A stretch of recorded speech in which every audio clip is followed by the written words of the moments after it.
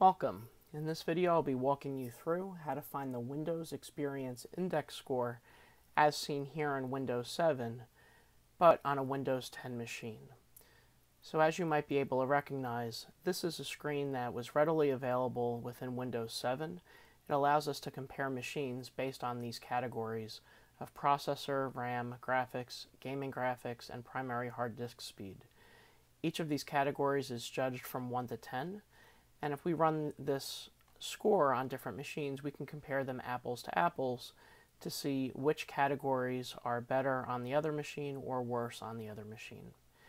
This screen and this ability came with Windows 7, however it disappeared with Windows 10.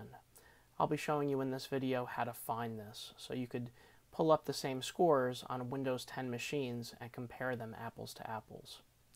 First thing we're going to do is just get out of here I'm going to go to the search bar and I'm going to type in PowerShell and I'm going to run it as administrator. This screen will pop up.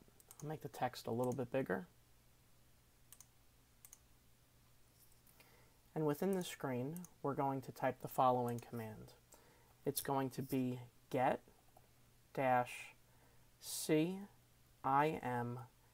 instance space win 32 underscore win SAT.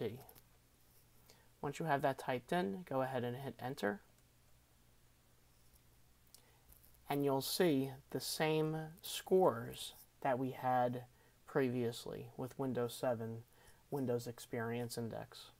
So pull this up on whatever machine you're working with, Windows 10, pull it up on another machine with Windows 10, and you can, can compare them in the same categories just like we did with Windows 7.